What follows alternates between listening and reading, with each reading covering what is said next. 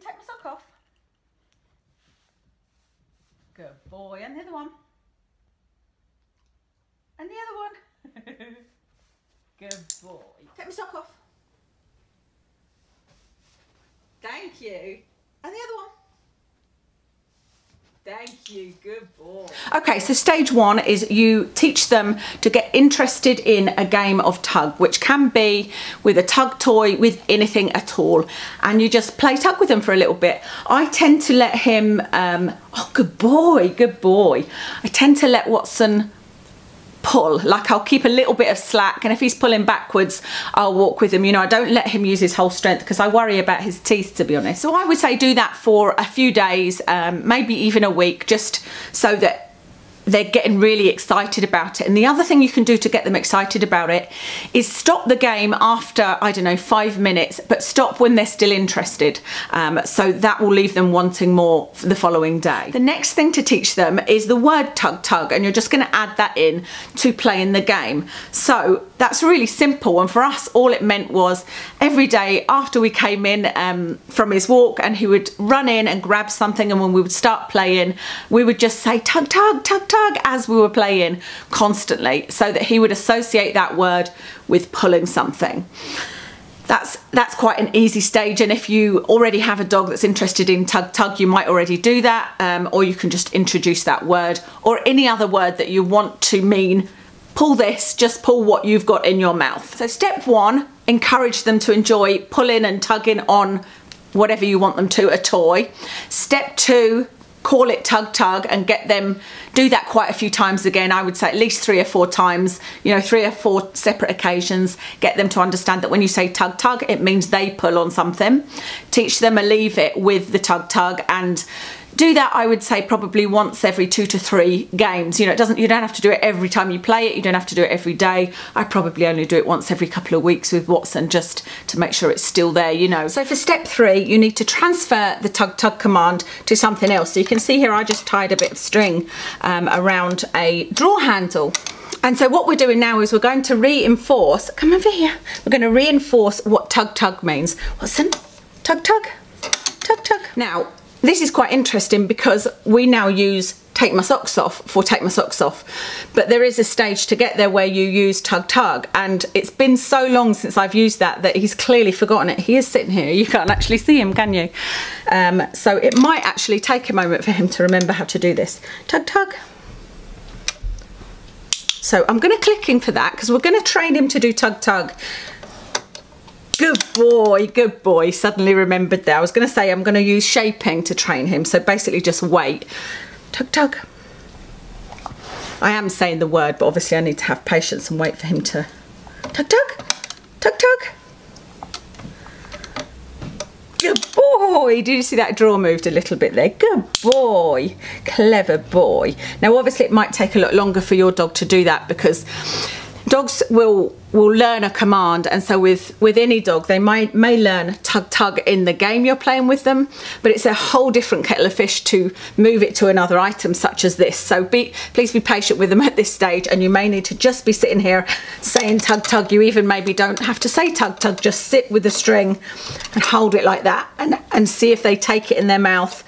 Um, give them a click and a treat and then let them hold it in their mouth a little bit longer and then you know, then start saying tug tug or just use the shaping method to get to the point where they understand that tug tug also applies to other things. So then when you have taught them the theory of tug tug, can you sit down for a minute? Good boy. You want to transfer that to your sock. So the first thing you do is put your sock almost off your foot. So like that. And then you offer it to them and just say tug tug. And some of them might get it straight away. Tug tug Tug tug. Tug tug. Yes, clever boy. What a clever boy. And you all you're doing, like if you say tug tug and they don't do anything, just you're just waiting because they will try something. So Watson's going back and doing it again without any instruction, good boy. So yeah, if they're not doing it, just you can even take the top the, the sock off. Tug tug, tug tug. Good boy. Oh, that was a bit rough. Tug, tug, tug, tug. Leave it. Good boy. So we were able to demonstrate the leave it after all. What a good boy. So yeah, take the sock off and try it this way. Tug, tug, tug, tug, tug, tug. Good boy, clever boy. Um, and then try again, then go back to putting it on your foot um, and say tug, tug. Good boy. Clever boy. You're so clever. Mwah. So remember that if they're not getting it at all, if you take it off and they're not getting it and you've got it on your foot and they're not getting it, remember that you still need to give them a command such as touch, good boy, um, target, target, target, good boy so that they're still getting a treat and so that it's still interesting for them. You just don't want them to get bored. Watson is actually getting bored this evening because he knows all of this and I'm talking a lot and so he keeps on ringing the bell and going and sitting in the window because he's a bit bored, aren't you? Do me a target. Target. Good. So, so just add in any command you want. Watson is now taking my sock off. um, every now and then just stop and do something to, so that they're still enjoying it, they're still getting a little treat. And so once they have said done tug tug, they'll probably just pull it once and they won't pull it all the way off. Like Watson's got a hold of it just now, tug tug. You have to just keep on saying tug tug, tug tug until they actually pull it all the way off. Clever boy. What a clever boy. Then you can say you can put it further on your foot. And it doesn't matter now which order you do these things in. You can put it on further on your foot and say tug tug. Um, and again if you've taught them gentle this will be a bit harder for them. Tug tug. Tug tug. It's like oh I've got to stand up to do this one. Tug tug. Oh god that is quite hard on isn't it? There we go. Good boy.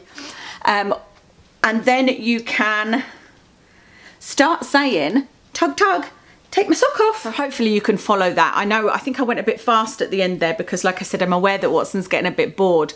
Um, but basically, once they've got to the point of tug tug and even pulling your sock a little bit, click and treat them even if they don't pull it right the way off your foot because you they're still getting it right because tug tug means pull this sock. Um, and then just encourage them to do it again. So click and treat and say tug tug. And then when they finally get the sock off, really make a big deal of it and give them what's called a jackpot treat. So give them maybe three or four treats in succession so that they understand that that's the actual goal to get the sock off. Once they've done that, at, every stage of this, do it for three or four days in a row, nights in a row, whatever, until they've really got it in their brain. And then you can move on to either saying, you take my sock off, tug tug, or tug tug, take my sock off, whichever way you want, it doesn't matter as long as the tug tug is in there. If like me, you want them to take both socks off, then after they've taken the first one off, just say, and the other one, and hold the other foot forward, um, and hopefully they should understand that they need to take that off um, as well. But don't rush that bit either because they will be expecting a treat after the first one, so you do need to treat them after the first one regardless um, until the whole thing is really second nature to them. Um, and then again you can start adding in tug tug take my sock off and then just start fading out the tug tug until you get to the point where where we are with Watson where I can sit on the sofa and say, Watson, can you take my socks off? And he'll come over and take one sock off and the other one and then he gets the treat. Um, and I will always give him a treat for that. If I wanted uh, to expand that, I'd maybe get them to put the socks somewhere or bring them to me or also take Kev's socks off or something like that, you know, but um, that's not something that I'll use very often now that I've trained him. It, it's almost like the training is is the fun part and then obviously I put it in a video and show you guys and then it goes on a list. And I occasionally go through a list of all the things that he can do just for fun and just to remind him you know but it's not something I'm going to be using that often. Um, so I hope that that made sense. I hope it wasn't too disjointed with Watson being a bit not really in the mood for training this evening and that you understood that. But as always ask me any questions and I will do my best to answer them. So thanks very much for watching and I will speak to you again soon